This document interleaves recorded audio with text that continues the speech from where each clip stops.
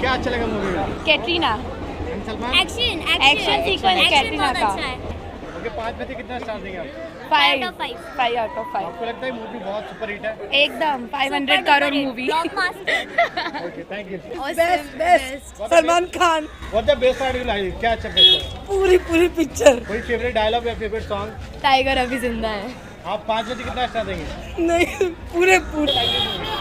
Everything, especially Salman, the way he has acted, his action, everything was just awesome. How's the chemistry between Salman and Katrina? Awesome, as usual. Awesome it was good, but Salman was outstanding. Out of five much for that? Obviously, five. ज़बरदस्त movie exceptional movie ये film super duper hit जाएगी blockbuster hit है और कटरीना की chemistry ज़बरदस्त है action screenplay story music it's a rocking movie it will rock the box office really it's the biggest hit of the year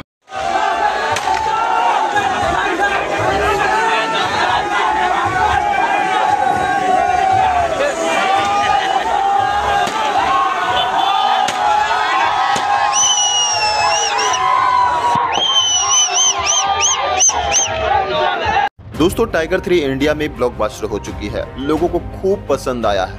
लोग खूब enjoy भी कर रहे हैं। इतना ही नहीं, लोगों का कहना है टाइगर के सामने पठान और जवान फ़िल्म कुछ भी नहीं है। दोस्तों, आज रात से ही कई सारे सिनेमा घर के बाहर लोगों का लंबा लंबा कतार देखने को मिला।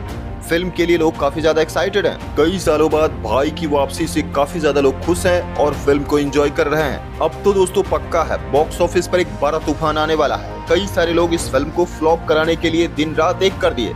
लेकिन आखिरकार ये फ़िल्म ब्लॉकबस्टर होती दिख रही है। इसे देखकर वर्ल्ड वाइड हज़ार करोड़ बॉक्स ऑफ़िस तो पक्का है। इतना ही नहीं टाइगर थ्री में शाहरुख खान साहब का कैमियो देख लोग काफ़ी ज़्यादा खुश हैं। टाइगर और जोया की जोड़ी फिर से बॉक्स ऑफ़िस पर एक नया सुनामी लाने वाला है। बताया जा रहा है कि ये फ़िल्म 500 करोड़ आसानी से कमाने वाला है, जिस तरीके से ओवरसीज और इंडिया से रिस्पांस मिले हैं। वहीं दोस्तों टाइगर थ्री के पहले दिन साढ़े बाईस करोड़ की टिकट सेलिंग हुई है, जिसे देख ऐसा लग रहा है कि 40 करोड़ तो ये फ़िल्म आसानी से कमाने वाला है। दोस्तों, ये तो ट्रेड फिगर है, लेकिन जिन लोगों ने इस फ़िल्म को अब तक देखा है, एक ही उनकी राय है, ये फ़िल्म आसानी से 60 करोड़ कमा सकती है, ऐसा पब्लिक की राय है। हालाँकि दोस्तों, एक बात तो माननी पड़ेगी, सलमान और कटरीना की जोड़ी हर बार बॉक्स ऑफ़िस पर एक तबाही लाती है, और इस बार टाइगर थ्री के रूप में आया है।